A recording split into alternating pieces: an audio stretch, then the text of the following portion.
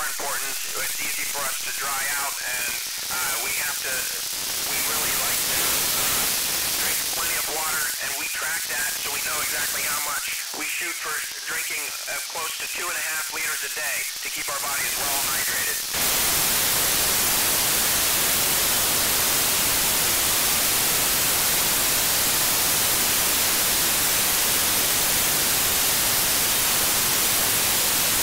Well, that's a great question. Uh, the short answer is we don't know exactly, but we do know that plants need the direction of gravity to help to know what direction to grow.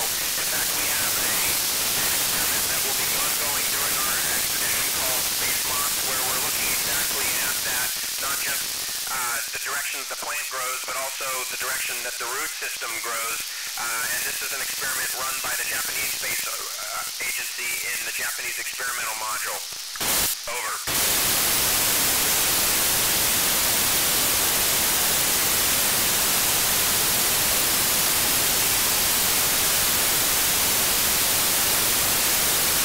That's an interesting question and one that we are actively.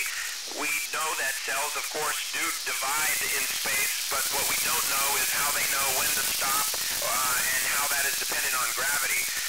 Also, we do believe that cells can potentially form shapes and form tissues that would be difficult to do on Earth. Just today, the SpaceX, uh, SpaceX Dragon vehicle brought us a new payload, a new experiment called the Biofabrication Facility that will look at how cells divide to form tissues in microgravity that one day we could produce small organs and tissue plants that we could not do on Earth with gravity, but perhaps could do in microgravity in space and understand it better. Over.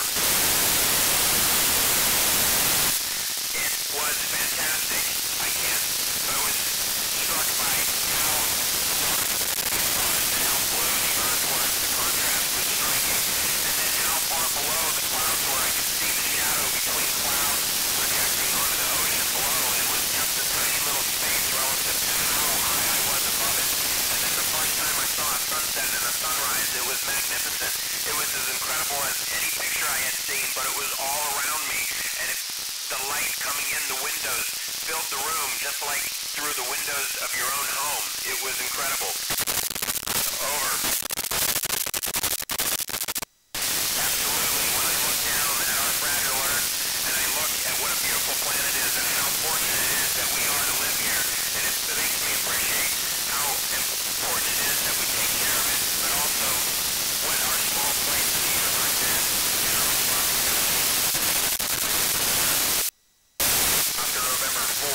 Delta, this is Oscar Romeo 4, EDS Delta, how do you read me? Over.